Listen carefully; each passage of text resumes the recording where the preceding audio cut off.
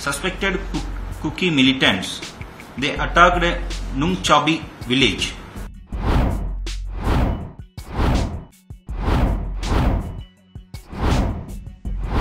A good number of uh, sophisticated arms, ammunitions, explosive grenades and others were recovered.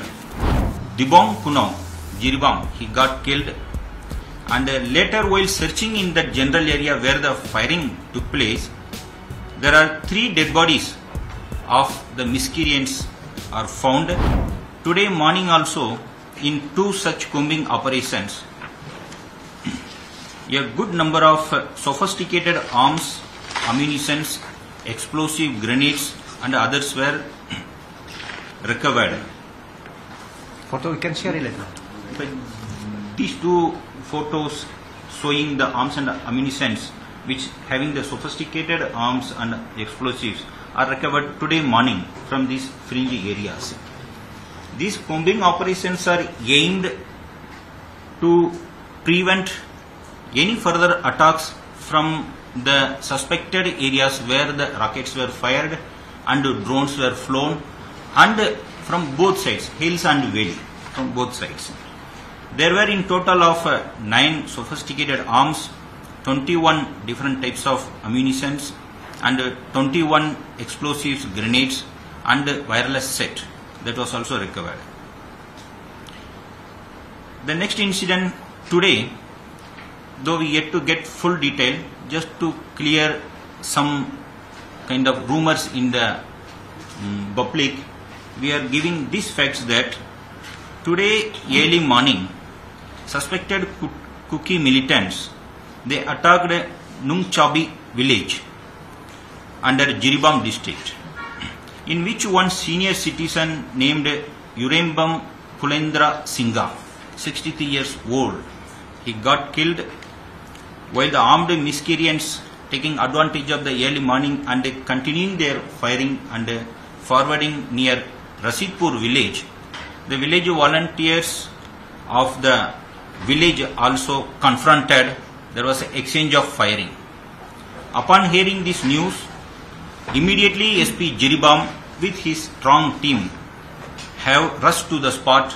Even they were also came under fire. They have also fired back, retaliated very strongly, and after some time the firing got controlled. The situation brought under control. There was a report of one Baspati Mayum Lakhi Kumar Sarma, 41 year old of Dibong Kuno, Jiribam. He got killed and uh, later while searching in the general area where the firing took place, there are three dead bodies of the miscreants are found. The details of the exact miscreants are yet to be ascertained. Due to these last few days frequent incidents, state police is reviewing the security situation and deployment very closely with the help of other forces.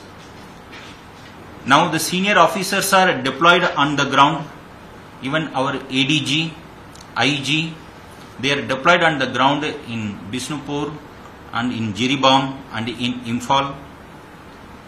Due to the the rogue drones which have created the recent attack in the September 1, a very good anti-drone system is deployed that is in action.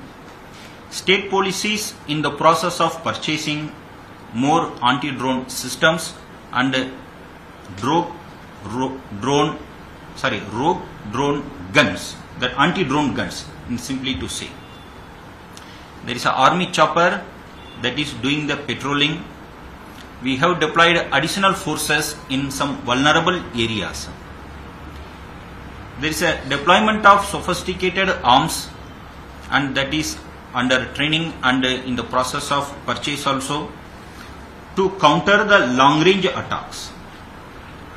We have activated our social media monitoring cell particularly to check the instigators of violence in the social media we have found that there are some instigators who don't come on the ground per se, but they instigate the people, they play with the emotions of the public from both the sides and make the public into mob to go for arms loot or to create a lawlessness. We are identifying such instigators in the social media. In fact, from the police area, we are warning such instigators will be identified and uh, under relevant sections they will be booked if necessary strict actions even to the level of booking them under scheduled acts and handing over them to central agencies will also be taken up. The combing operations in both sides, hill and valley, is intensified, particularly focusing on particularly the long range rocket from where the rocket was fired and also the drones where it was noticed more. In these locations, uh, combing operations are intensified. We will be covering minimum of 3 to 5 kilometer focusing on these areas. The nakas are being strengthened and it will be a combined nakas to ensure that the forces are not kind of compromised. There. Don't miss out. Log on to oneindia.com for more updates.